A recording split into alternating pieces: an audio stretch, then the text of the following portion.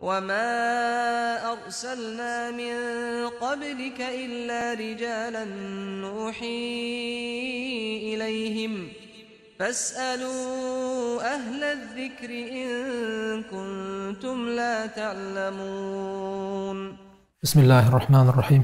الحمد لله رب العالمين. وصلى الله وسلم على رسوله الأمين وعلى آله وأصحابه أجمعين. اللهم أصلح لنا نياتنا وذرياتنا وأحسن ختامنا يا أرحم الراحمين أما بعد fatvo so'rash va fatvo berishga oid ahkom va odoblar darsini davom ettiramiz biz o'tgan darslarimizda e, muftiyga taalluqli odoblar fatvo berishga taalluqli ahkomlar fatvo berishga taalluqli odoblarni zikr qilib o'tgan bo'ldik bugungi darsimizni mavzusi navbatdagi darsimizni mavzusi fatvo berish sharafmi yo xatarmi? Bildik fatvo beruvchiga taalluqli odoblaru fatvo berishga taalluqli ahkom odoblarni aytib o'tdik. Endigi bilishimiz kerak bo'lgan masalalardan biri o'zi aslo fatvo berishni sharaf deb bilamizmi yoki xatar deb bilamizmi? Bir tarafdan olib qarasangiz fatvo berish sharaf. Boshqa bir tarafdan olib qarasangiz fatvo berish bu xatar. Ibn qoyim rahimaulloh ilamul muvaqqain kitobida qozi va muftiy haqida mana bu ikkita kishi haqida qozi va muftiy haqida aytadilarki kilahuma ajruhu azim va xataruhu kabir deydilar. Mana bu ikkala kishini ham savobi katta savobi ko'p xatari ham juda ham katta deydilar. Qozi bilan muftiy agar haq bilan hukm qilib odamlarga shariatni bayon qilayotgan bo'lsa savobi katta. Va xatoruhu kabir xatari ham nima? Juda katta degan ekanlar. Ho'p endi fatvo. Berish sharaf ekanligiga dalolat qiladigan bir qancha nuqtalarni zikr qilamiz. Fatvo berish bir tarafdan sharaf dedik. Nimaga? Birinchidan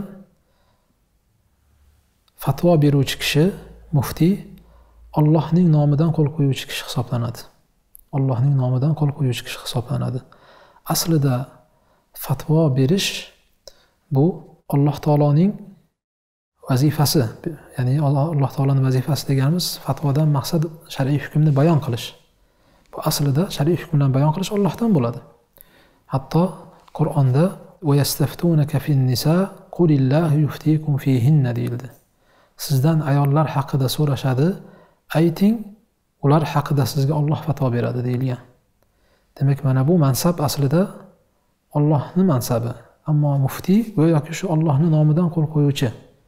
Xuddi masalan bir podsho bo'lsayu e, keyin uni vaziri noibi bo'lib podshoni nomidan odamlarga masalan qo'l qo'yib podshoni ehsonini tarqatsa bu katta bir martaba haqiqatda bu sharaf katta sharaf. Mana bu e'tibor bilan olib qaraydigan bo'lsak. Shuning uchun e, qarofiy rahimaulloh muftiyni kimga o'xshatgan ekanlar? Ollohning murodini tarjima qilib beruvchi tarjimon degan ekanlar. Qur'on sunnatda hamma o'zi tushunmaydi. Olloh nimani maqsad qildi falon oyatdan e, rasululloh sollallohu alayhi vasallam falon hadisdan nimani maqsad qildi hamma buni tagiga yetolmaydi. Lekin muftiy shu tarjimon bo'ladi. Olloh bilan bandalarni orasida ollohni maqsadini bandalarga tarjima qilib yetkazib beruvchi bir maqomda. Ibn qoyim rahmaulloh esa yuqorida aytganimizdek podshoni nomidan qo'l qo'yadigan bir vazirga o'xshatgan muftiyni. Ikkinchidan nima uchun fatvo berish sharaf? Chunki bu fatvo beruvchi muftiylar rasululloh sollallohu alayhi vasallamni merosxo'ri hisoblanadi. Rasululloh sollallohu alayhi vasallamni asosiy payg'ambar qilib yuborishlik vazifasi nima uchun? Odamlarga ollohni hukmini yetkazish uchun. Alloh taolo aytadiki biz sizga zikrni nozil qildik. Ularga nozil bo'lgan qur'onni nima qilish uchun? Bayon qilish uchun. Demak asosiy vazifalari bayon qilish. Bizga nozil qilingan qur'onni odamlarga nima qilish o'sha bizga yetkazib berishlik bayon qilib berishlik bu rasululloh sollallohu alayhi vasallamning vazifalari bo'lgan. Endi ulamolar fatvo beruvchilar bular rasululloh sollallohu alayhi vasallamni merosxo'rlari hisoblanadi. Hadisda kelgandek rasululloh sollallohu alayhi vasallam aytdilarki innal ulamaa varasatul anbiya olimlar payg'ambarlarni merosxo'rlari deyilgan. Ibn solah adabul muftiy va mustaftiy kitobida sahl ibn abdullah tustariydan naql qiladi aytgan ekanlarki من أراد أن ينظر إلى مجالس الأنبياء عليهم السلام فلينظر إلى مجالس العلماء ambiyolarni majlisiga nazar solmoqchi bo'lgan kishi olimlarni majlisiga nazar solsin ya'ni payg'ambarlarni majlisida o'tirishni istagan kishi ulamolarni majlisida o'tirsin يجيء الرجل فيقول يا فلان ايش تقول في رجل حلف على امرأته بكذا وكذا فيقول طلقت امرأته وهذا مقام الأنبياء فاعرفوا لهم ذلك. قاهدا مفتي بر كشكل هذا؟ خاطنم جا فلان فلان سوزنا اتفويدم طلاق تشتم تشم هذا مديده تون يارم هذا كلب قاهدا شو خاطنا حلال حرام جوابنا بلشنا كم نالدي كلا هذا؟ مفتي نالدي كلا هذا. حلال دسا يشبك هذا حرام دسا أجرب هذا.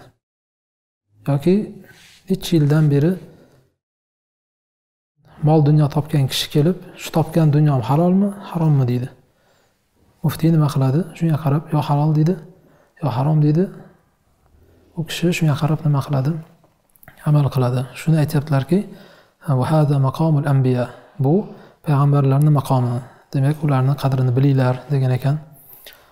Sahl ibn abdulloh tishtariy rahimaulloh uchinchidan fatvo berish sharaf nimaga? Chunki bergan fatvolari bo'lib ham yozilgan holatda qoladigan bo'lsa bu sadaqa jariya bo'ladi. Shu fatvodan kim foydalanadigan bo'lsa erta kuni e, qabrga albatta savob borib turadi. U qaysi hadisni ostiga kiradi? Idamatal inson illa min hadisini ostiga kiradi. Kishi vafot etadigan bo'lsa e, hamma amali to'xtaydi illo uchta amalini savob borib turadi. Min sadaqatin jariya sadaqa jariya deyilgan. Av ilmin yuntafau bihi yoki manfaatli bo'lgan bir ilm tashlab ketgan bo'lsa deyilgan. Valadin solihin yadu lahu yoki haqqiga duo qiladigan solih farzand tashlab ketgan bo'lsa deyilgan. Demak mana bu manfaatli bir ilm tashlab ketgan bo'ladi. Yana fatvo berish sharaf qachon? Bo'lib ham hozirgi zamonda ilmsiz fatvo berish ko'paygan bir paytda haq bilan ilm bilan e, fatvo bergan kishini ajri juda ham katta. Aslo ilm bilan haq bilan fatvo berayotgan odam hozir g'arib.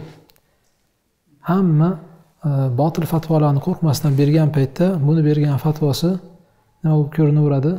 Doim bu g'uluv ketgan bu chuqur ketgan yoki bular falonchi bular falonchi deb turib laqablarni qo'yib chetga surib tashlab shunda ham allohni qo'rqmasdan masalan biron bir malomatchini malomatdan qo'rqmasdan haq bilan yetkazib odamlarni haqqi amal qilishiga sababchi bo'lsa buni savobi yanada nimaroq bo'ladi? Kattaroq bo'ladi. Ho'p mana bu ba'zi bir jihatlar fatvo berishni nima sharafli ekanligini ko'rsatadigan bir ba'zi bir jihatlar. Endi boshqa bir tarafdan olib qarasak fatvo berish bu xatar. Fatvo berish bu xatar. nima uchun xatar? Birinchidan ilmsiz fatvo berish bu allohning sha'niga yolg'on to'qish. Allohni sha'niga yolg'on to'qish. Alloh subhana taolo aytadiki vala taqulu lima tasifu alsinatukum alkazib hada halalun va hada harom litaftaru ala allohi alkazib innallazina yaftaruna ala allohi alkaziba la yuflihun. Allohni sha'niga yolg'on to'qish uchun tillaringizga kelgan yolg'onni gapirib bu halol bu harom deb aytavermanglar. Chunki olloh sha'niga yolg'on to'qiydigan kimsalar hech qachon najot topmaydi deyildi. Demak bu ollohni sha'niga yolg'on to'qish e, allohni sha'niga yolg'on to'quvchilar esa hech qachon najot topmaydi deyilyapti oyatda. Ikkinchidan nima uchun fatvo berish xatar? Chunki ilmsiz fatvo berib qo'yilsa odamlarni adashib ketishiga sababchi bo'lgan bo'ladi. Bu jihatdan ham juda ham xatar hisoblanadi. Imom buxoriy rivoyat qilgan abdulloh ibn amr ibn al as aytadilarki nabiy sollallohu alayhi vasallam aytdilar deydi إن الله لا يقبض العلم انتزاعا ينتزعه من العباد ولكن يقبض العلم بقبض العلماء alloh taolo ilmni bandalardan birdaniga sug'urib olmaydi balki ilmni ulamolarni jonini olish bilan tortib oladi hatto biror bir olimni qoldirmagandan keyin odamlar johil kishilarni nodon kishilarni o'zlariga boshliq qilib olishadi.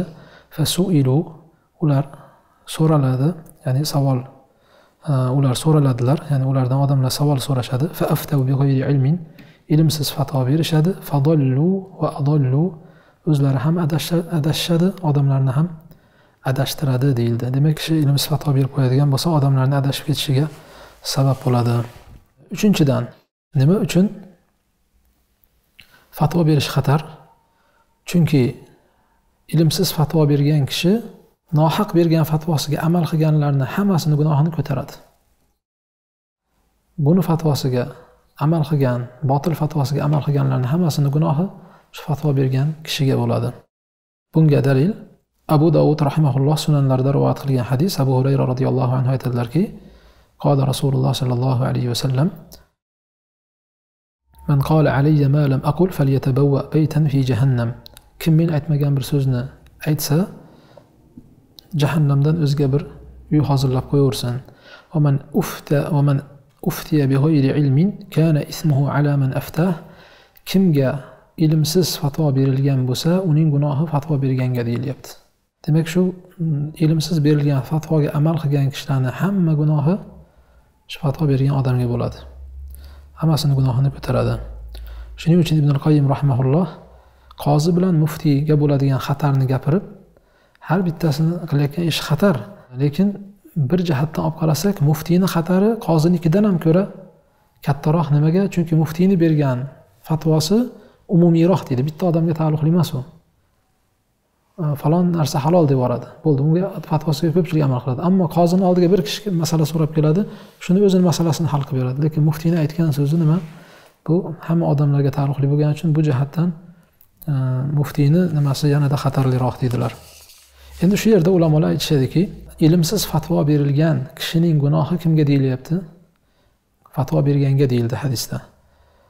Lekin gohida shu fatvoga amal qilgan ham gunohga sherik bo'ladi qachon?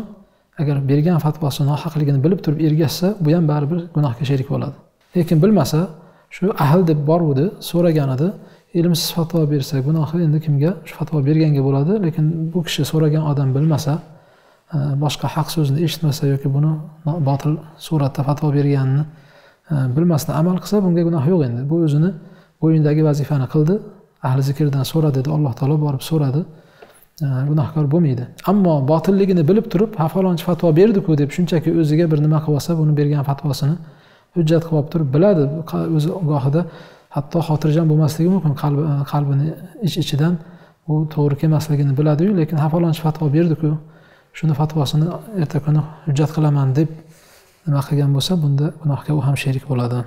Ho'p to'rtinchidan nima uchun fatvo berish xatar? Fatvo beruvchi kishi birovning dunyosi uchun oxiratini sotgan kishi ilmsiz fatvo bergan kishi birovning dunyosi uchun oxiratini sotgan kishi bo'ladi. Adabil muftiy va mustaftiy kitobida ibn solah aytadilar. Suhnun rahimaulloh aytgan ekanlar. Ashqon nas min ba'a akhiratahu bi dunya eng baxtsiz odam dunyosini deb oxiratini sotgan kishi.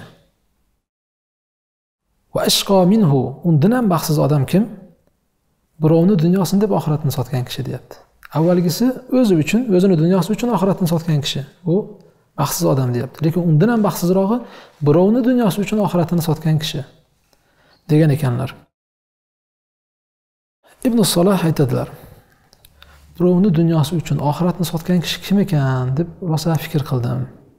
Qarasam bu muftiy ekan deydi nimaga? Bir kishi kelib qulimga bunday deb qo'ydim. Falon falon ishni qilsang ozodsan deb qo'ydim. yoki xotinimga falon falon ish qilsang taloq deb qo'ydim hukmi nima deb so'raydi deb keladi deyapti fayaqulu lahu la shay'a alayk hech qisi yo'q yo'q quling ozod bo'lmabdi xotining taloq bo'lmabdi ziyoni yo'q deb fatvo berib yuboradi muftiy فيذهب الحانث فيتمتع بمرأته ورقيقه u kishi borib qulidan foydalanadi ayoldan foydalanadi bo'ldi taloq tushmadi ozod bo'lmadi quling deb fatvo berildi Borib u dunyosi bilan foydalanadiyu. Nima? Muftiy esa uni dunyosini deb oxiratini sotgan kishi bo'ladi deyapti. Agar ilmsiz fatvo bergan bo'lsa shu yerda birovni dunyosini deb o'zini oxiratini sotgan kishi bo'ladi deyapti. Beshinchidan nima uchun fatvo berish xatar? Chunki ilmsiz fatvo beruvchining oqibati jahannam. Bunga dalil imom abu davud imom termiziylar rivoyat qilgan hadis burayda roziyallohu anhu aytadilar nabiy sollallohu alayhi vasallam aytgan ekanlarki al qudotu salasa qozilar uch xil bo'ladi degan ekanlar vahidun fil janna va thnani fin nar biri jannatda ikkitasi do'zaxda farajulun فأما الذي في الجنة فرجل عرف الحق فقضى به jannatdagisi haqni bilib shu haq bilan hukm qilgani Haqni bilib demak bilmay hukm qilmagan haqni bilgan va bilgan haq bilan nima qilgan hukm qilgan ورجل عرف الحق فجار في الحكم فهو في النار ammo haqni bilib hukm chiqarishda zulm qilgan kishi esa bu do'zaxda deyapti biladi haqni lekin nohaq havoyi nafsiga ergashib qarindoshi bo'lgani uchun uni foydasiga hukm chiqarib beryapti yomon ko'rgan kishi bo'lsa uni ziyoniga hukm chiqarib beryapti lekin haqni biladi unday emasligini bu do'zaxda deyildi. Yana bir kishi esa odamlarga ilmsiz hukm chiqaradi. Bu ham jahannamda deyildi. Yana bir hadis kelgan. Darimiy rahimaulloh sunanlarda rivoyat qiladi. Bu hadisda bu hadisning lafzi ajroukum alil futya ajroukum alin nar. Fatvo berishga jur'atli bo'lganingiz do'zaxga kirishga jur'atli bo'lganingiz deyilgan. Ya'ni kim fatvo berishga jur'atli bo'lsa bu degani jahannamga kirishga jur'atliman degani. Bu hadis lafzi e, mana shu lafzdagi hadis zaif deyishgan bilan ulamolar lekin ma'no jihatdan sahih. Buni yuqoridagi hadis ham quvvatlaydi. Yuqoridagi hadis ham quvvatlaydi. Imom molikdan so'ralgan ekan shu fatvo berishga jur'atli bo'lganingiz do'zaxga jur'atli bo'lganingiz degani nima degani desa yufti bima lam yasma shu eshitmagan bilmagan narsasi bilan fatvo beradigan kishi haqida. Degan ekanlar. E'tibor bering demak mana bu zikr qilib o'tilgan nuqtalar bu fatvo berishni xatarini bayon qiladi qanchalik xatar ekanligini. Birinchidan ollohni sha'niga yolg'on to'qish bu. Olloh aytmagan narsani olloh nomidan aytmagan narsani yo ollohni hukmi shu deb turib halol harom deb fatvo berib yuborish ollohni sha'niga yolg'on to'qish bo'ladi ilmsiz bo'layotgan bo'lsa. Ikkinchidan odamlarni adashib ketishiga sababchi bo'lib qolgan bo'ladi. Ho'p keyin ular endi botil fatvoga amal qilib gunohkor bo'lsa ularni gunohini hammasi kimga bo'ladi deyilyapti. Fatvo beruvchiga endi shuncha odamni fatvosini yuklab qayerqa boradi boradigan joyi jahannam bo'ladida. Shuning uchun hadislar nima deyildi? Bilimsiz fatvo berganni boradigan joyi jahannam deyilyapti. Endi shu jahannamga kirishga jur'atliman degan odam fatvoga jur'atli bo'laversin buyog'iga shuning uchun nima qilish kerak? Bu narsadan ehtiyot bo'lish kerak. Haqiqatda salaf solihlar mana shuni his qilishgan. أنا شو معنى نخص قلش كان؟ شنين شن خطيب البغدادي فقيه متفاقه كتاب ده نقل قلادة. إمام مالك حق ذا ايت كان يكنلر بركشة إن كان مالك إذا سئل عن مسألة كأنه واقف بين الجنة والنار. إمام مالك بالمسألة حق ذا سورة لسا خد جنة بلان دوزاخ نورس تورجان دي بقول أركان يعني هذا من شو جواب بلان يا جنة كرامان يا دوزاخ كرامان دي كان نرسان. أنا خصق جان يعني.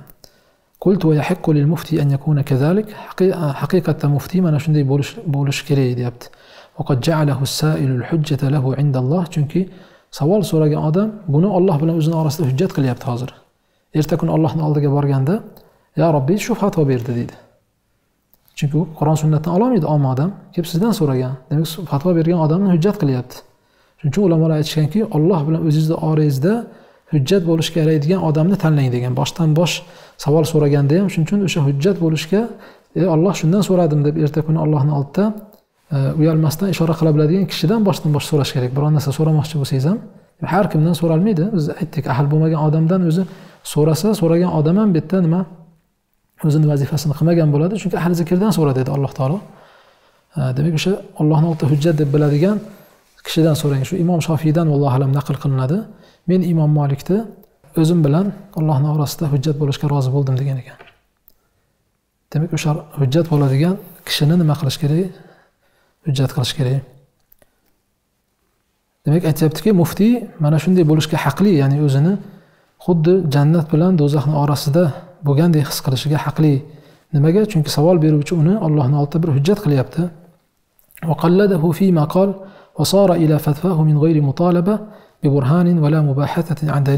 Dalilni so'rab o'tirmasdan sizga ergashib ketyapti halol desangiz halol deb bilyapti harom desangiz harom deb bilyapti taslim bo'lyapti bu juda ham xatarli maqom degan ekanlar shuning uchun ulamolar aytishadiki fatvo berayotgan kishi fatvo berayotgan kishi savol beruvchini muammosini yechib berishga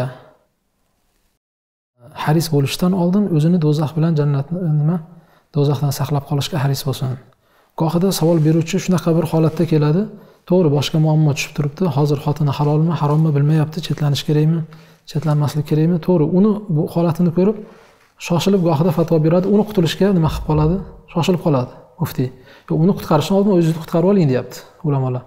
Chunki siz erta kuni mana bu javobingiz bilan yo yaxlik bo'lasiz yo yaxlik bo'lasiz. Shuning uchun uni qutqarishdan oldin nima qilish kerak? Inson o'zini qutqarish kerak. Demak mana bu ba'zi nuqtalar fatvoni bir jihatdan sharafi bor haqiqatda fazilati bor. Ikkinchi tarafdan bu juda ham xatar.